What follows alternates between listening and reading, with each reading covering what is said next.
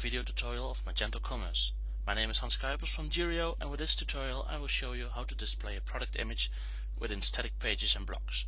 All you need is a running installation of Magento Commerce, an FTP connection and a text editor to edit the PHTML files. This tutorial is based on an enterprise version of Magento but will also work for a community edition.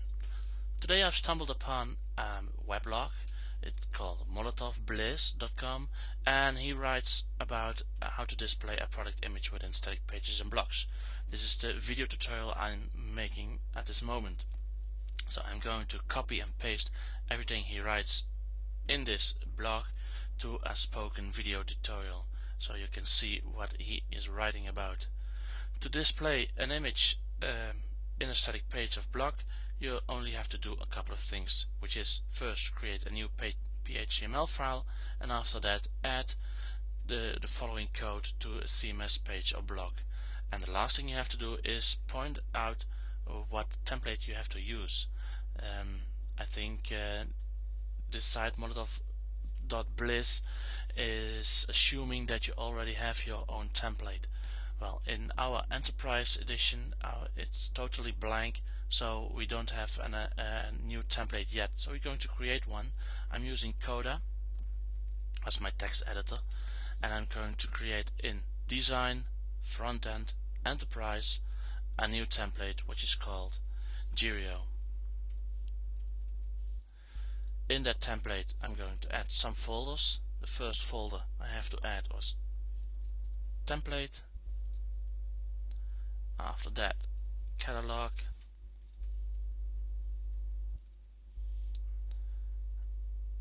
After that product.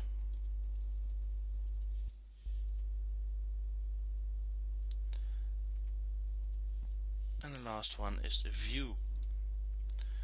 Within this folder I'm going to add a new file which is called your new page.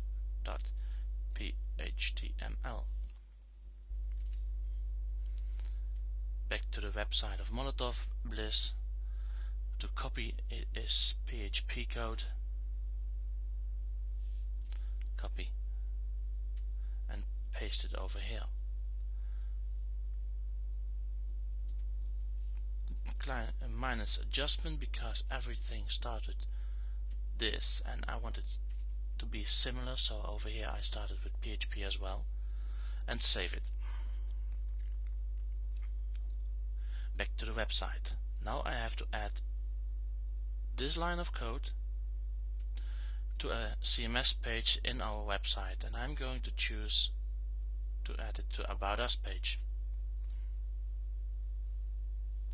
So we go to CMS Pages Manage Content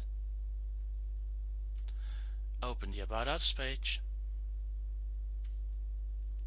click on Content, hide the editor and add this line of code. Well, when I save it, it will load uh, our created PHTML file and it adds the image of product ID is 1. I don't think I have that so I so I'm going to find another one furniture living room going to use this couch. So I go to catalog, manage products, search for couch, hit enter. Couch has number 53 as product ID and now I head back to the pages opening about us, content. I prefer working from the code, not your not the WYSIWYG editor. 53 and save page. Since this page PHTML file is loaded into a new template, I have to pinpoint our Magento installation to this new template. So therefore go to System, Configuration and then go to Design. Our template is called Jira and for default you can use enterprise and save the configuration now we are done we go to the front end opening the About Us page and we see the couch. That's it. I just added a tiny image to a static page or block. And this was a video tutorial from Jira. Visit our website at jiro.com for more tutorials. Have fun creating cool web shops. Until next time.